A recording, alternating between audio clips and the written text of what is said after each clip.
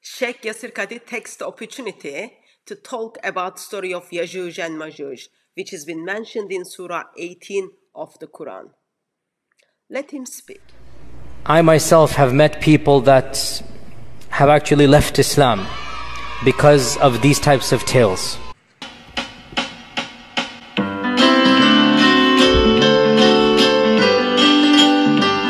I'm Muhammad, I'm a prophet because I said so.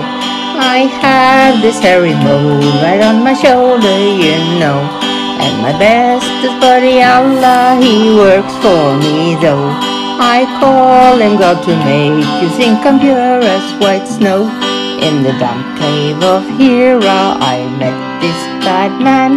He squeezed me until I threw up the Koran. When I ran to Khadija in anguish and fears, she explained, This is Jibril, and wiped off my tears. I'm Muhammad, I'm a prophet because I am him. And Allah caters to my needs and every whim.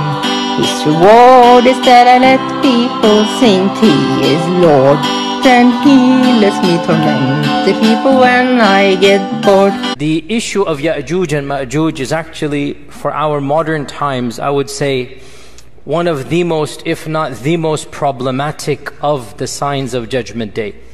And it has caused many of our youth to question, to doubt. I myself have met people that have actually left Islam because of these types of tales. And we have to be honest and frank and not pretend as if this doesn't exist. Perhaps some of you are not accustomed to hearing people speak like this, but my philosophy is different. We are dealing with the crisis of people leaving our faith, our own children, our own young men and women. And of the reasons why is that we are not answering some of these issues that they bring and we dismiss them. The issue of Ya'juj and Ma'juj is something that doesn't just occur in the hadith. It is explicit in the Quran. Standard medieval interpretation of Ya'juj and Ma'juj is the following. This is what you find in Ibn Kathir. You find it in the tafsir literature of a Samarqandi and of a Tha'labi. And basically, this is the mainstream interpretation for our classical and middle ages of Islam. If you look at any book of tafsir, any book of history, the notion was the following. Ya'juj and Ma'juj are a bizarre, exotic tribe in the nether regions of the world that have been trapped by Dhul thousands of years ago, and they're still trapped to this day. That Ya'juj and Ma'juj are a living tribe, blocked to this day behind the wall that was built 4,000, 5,000 years ago, that wall miraculously is still there. People can see on the one side, and on the other side, you have these savages that Allah knows how they're eating, drinking, replicating, whatnot, and they're still there for eons and eons and eons. Dare I say, anybody who knows science and geography and modern civilization, you cannot believe that there is a tribe for 4,000 years trapped behind a wall. I mean, if you believe this, any, that's your position. I, I cannot believe it. I'm just being, I cannot, I, I find this very difficult to believe. If you still believe that there's a big wall that is lasting for thousands of years, and by the way, no human structure is that fortified for four or five thousand years that nothing happens to it. Even the Great Wall of China needs to be built up or whatnot. I mean, it doesn't work that way. But anyway, if you believe, and anyway, so this is, uh, what can I say? If you believe it, you believe it. I am somebody who, I, I, what, can, what can I say? I don't, I just, my mind doesn't believe this. Others have said, we need to reinterpret Ya'juj and Ma'juj metaphorically. And that is this newfangled interpretation. This is a very modern interpretation. It only begins in the 60s and whatnot, where they say Dajjal and Ya'juj and Ma'juj are symbolic. I admire the fact they're trying to salvage the tradition because they understand that mainstream interpretation doesn't make sense. Another group says, and this is something that I have heard myself, some ulama say, that perhaps Ya'juj and Ma'juj are not on earth but under earth. That's why the satellites haven't discovered them. Again, I appreciate the salvaging, I really do. But how can human beings survive? No vegetation, no plants with the sun, no oxygen, food, drink, thousands of years. And according to these traditions, we're talking about gazillions of people.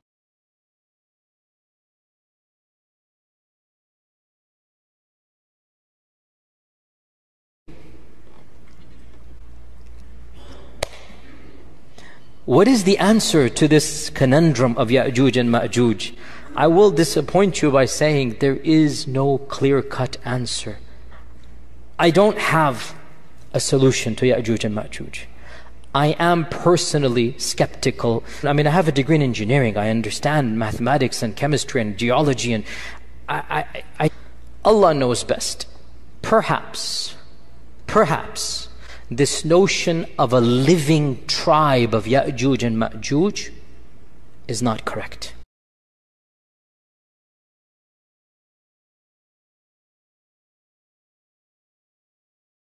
This notion of a living tribe of Ya'juj and Ma'juj is not correct.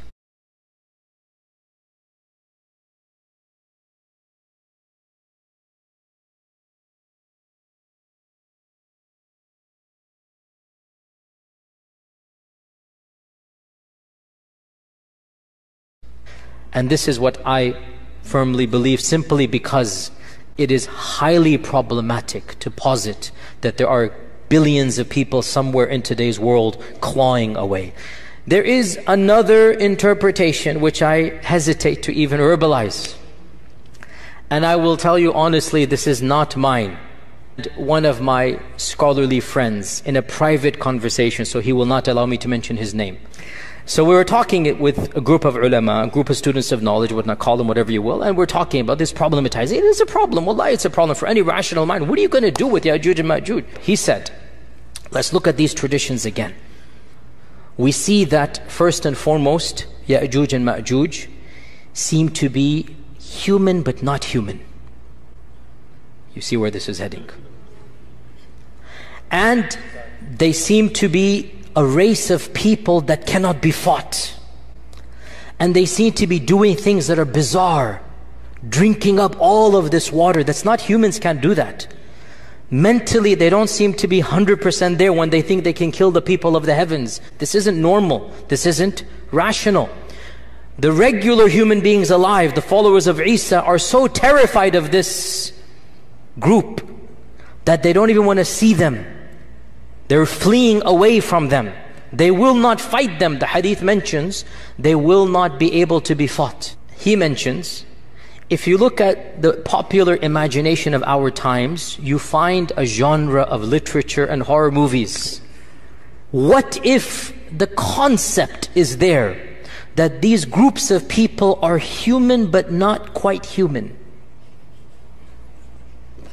And they're doing all of these things and everything just started clicking in my head. Check, check, check, check. So ah, ayas, ayas, ah, the key point. They shall die the death of one man. How will they get gotten rid of? Allah will send a disease, some type of antivirus, some type of vaccine. I'm just saying what my friend said. Because the hadith mentions this explicitly, does it not? Allah will send something that will get them in the neck and they will die the death of one person.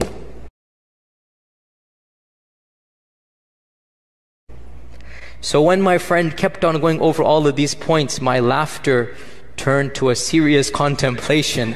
And I said, But how do we tell the public this? Then I said, I'll just project it onto my friend, which it is true, it is coming from him.